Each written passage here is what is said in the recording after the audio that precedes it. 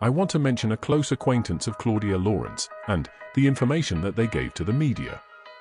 There were lots of things said, but also things that were untold by them that have added to the simple complexity of this case.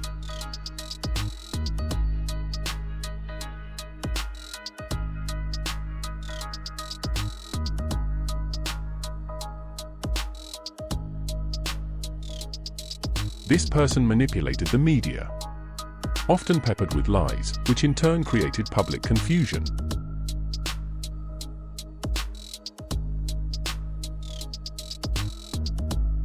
This same person had told the police that they had not been to Claudia's home for over two weeks prior to her disappearing, when in fact they'd been there just five days earlier on the Thursday.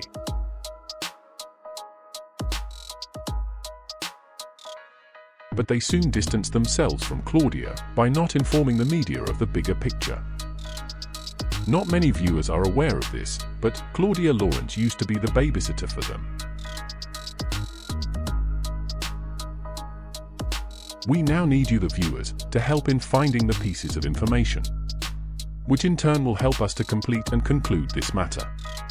Let us bring those responsible for the scheming, plotting, and ending of Claudia Lawrence's life to answer in the courts.